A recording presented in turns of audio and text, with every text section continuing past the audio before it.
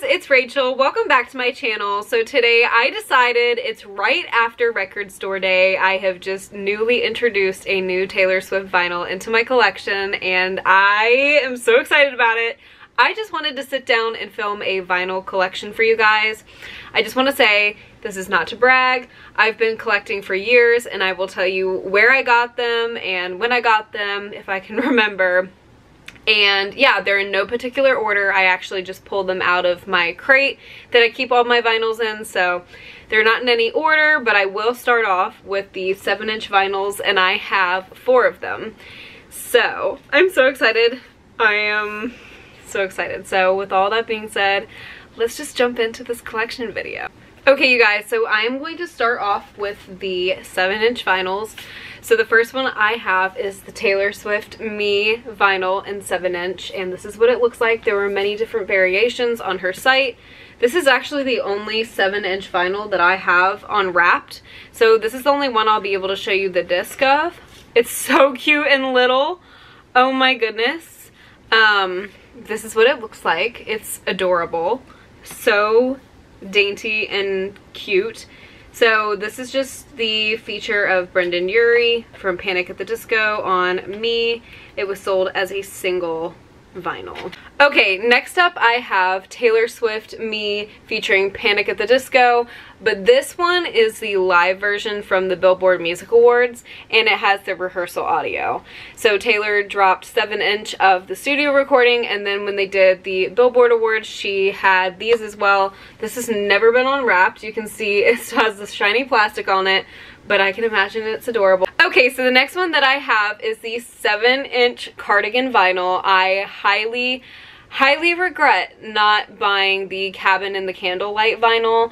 Um, it's also a 7 inch. Uh, if you guys want to see a video on my Taylor like wish list vinyls, that would be awesome because there's a couple I don't have that I am desperately searching for for a good price and they are very expensive in resale so I'm like, mm, I'm not willing to spend the coin on it, but yeah, there are definitely some that I am definitely trying to seek out. But for now, this one is the Cardigan 7-inch vinyl, and it has this picture of Taylor. It's adorable, and it has a songwriting memo. I've never opened it, and I... There's a couple in here that I haven't opened because they are like collector's pieces, so yeah. The back has a note from Taylor and it says, thank you for all the love you've shown folklore. It's been the most magical creative adventure of my life thus far and I wanted to share with you a recording of how it all started. The first recording I ever sent to Aaron for Cardigan including the original lyric and lots of rambling. I love you guys so very much. T.S. She's so cute. And then my latest addition to the collection is the 7 inch clear record store day The Lakes vinyl.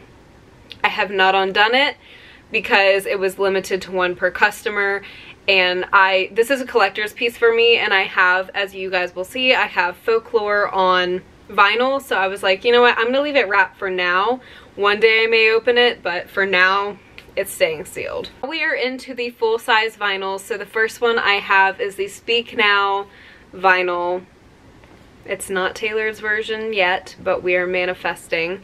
And it just looks like this, and it is the single, it's the black disc. The inside looks like this. I got this from, I believe, Barnes & Noble. I actually got a lot of, like, my classic, like, Taylor Swift vinyls from Barnes & Noble. This one, however, Lover, is pink and blue and it looks like this in the inside and I got this one at Target. I don't think it's available any longer on the Target site but I do see it all the time like on eBay. So definitely if you're looking for this, it's so beautiful you guys. I'll show you like, you can see like the blue and the pink. I personally love the blue. I think it's beautiful. This one was a find. I remember I was so excited to find this. This was my last, at the time, vinyl that I needed to complete my Taylor collection. Um, I remember I just happened to pop into Barnes & Noble one day and I found this and I scooped it up so quick. It was the last one and it's the Taylor Swift Fearless Platinum Edition vinyl and it's just the black disc and it looks like this on the inside. I love this picture and then the back just looks like this. This was my most, I'd say, exciting find other than, of course, like the lakes, which I feel like was the most hard to get question mark for me personally it was the most hard to get because I waited in line for eight hours for it. So, next up I have Evermore, and this Evermore is the green one from Target. And I, you guys will see I have another copy of Evermore. This is the classic red Taylor Swift stolen version.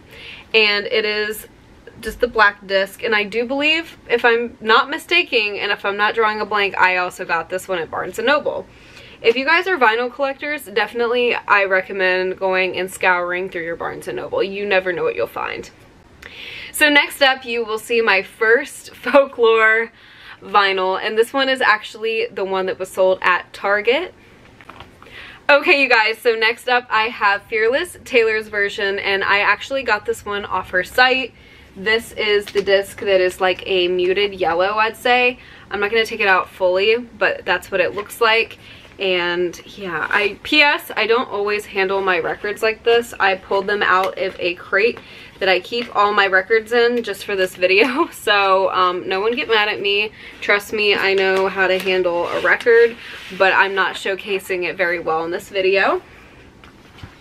So next up I have the classic in the trees folklore cover and that's really what they call it and this disc I got this one from my local record store when they dropped the classic in the trees cover because I love the folklore cover and I wanted it specifically for my vinyl collection because she did a lot of different color variations for folklore and I knew that I wanted the classic cover in my collection so Next up, I'm ashamed to say I have never opened this one. I have yet to listen to Red Taylor's version on vinyl, but this one I got at Target, as you can see.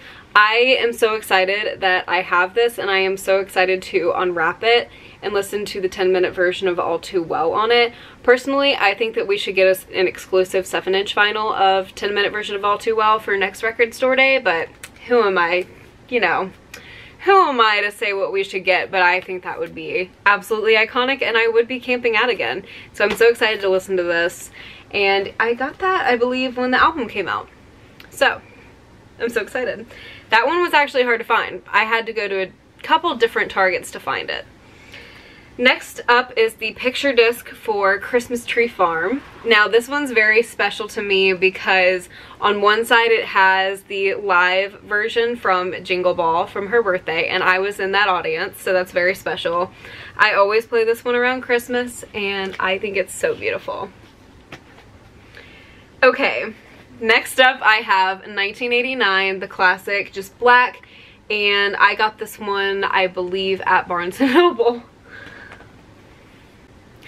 So next up I have the Hide and Seek edition. I believe it was number six in the color variation for all the colors that she did for folklore. And this one's like a beautiful, beautiful periwinkle color. And it looks like that. Um, I don't want to take them out all the way because it's sometimes hard to get them back in their slot properly.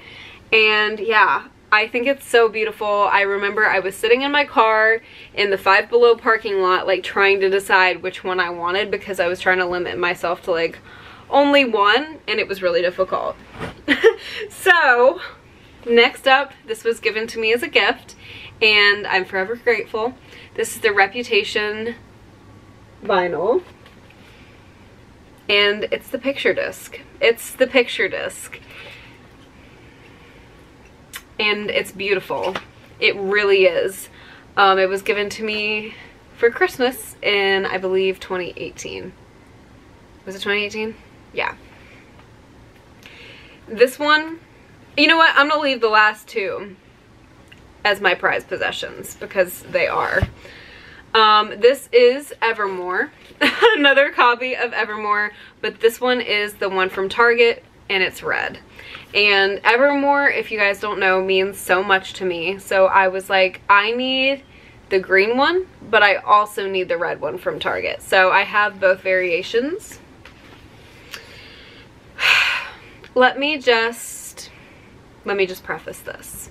These two are my prized possessions. I can't believe that I have these in my collection. So these two that I'm about to show you are from Record Store Day in 2018.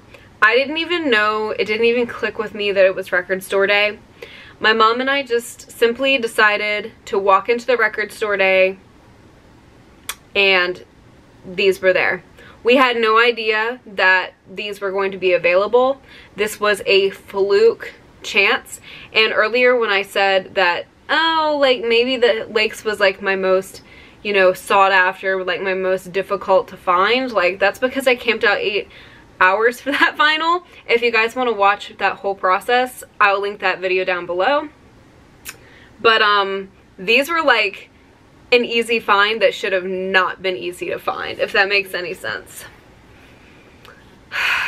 I have the 1989 vinyl that I've never unboxed because the one that I play is the black edition that I have from Barnes & Noble that I just showed you. It is 257 out of 3,750 of the pink splatter vinyl. Um, I can't believe I have this. I was going to buy Fearless as well, but they were sold out of that one. But what in the world? I was I had the best brain cells that day, but it gets better. My very last vinyl that I have in my collection that has not been featured in this collection yet. I did open this one, so I can show you guys this one. But this is the Taylor Swift debut album, Record Store Day 2018, in the blue vinyl.